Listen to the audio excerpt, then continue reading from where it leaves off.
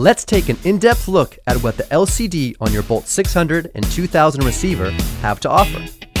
For general navigation, toggle up and down to access menu items, left and right to go back and advance.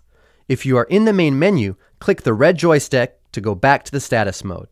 Status mode is used to display the current state of the receiver.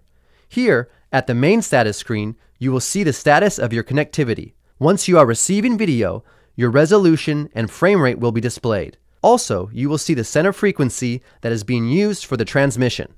Press the red joystick to see time code, and temperature as well. In menu mode, you are able to make adjustments to your bolt settings.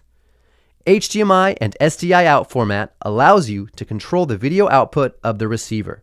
Same as input will match the input signal connected to the transmitter.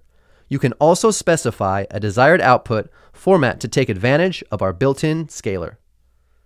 Test pattern allows you to generate color bars, borderline, and moving circles as your output. Pairing allows you to manage your bolt transmitter and receiver pairs in the field.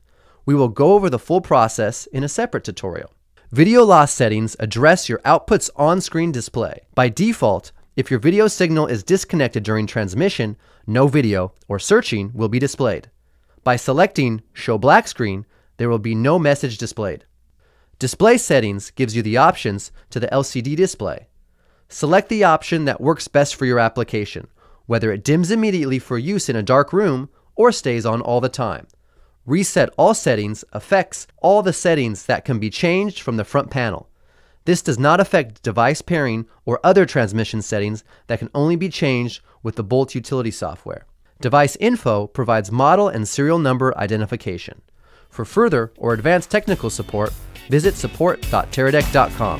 For more information about Teradek, visit teradek.com.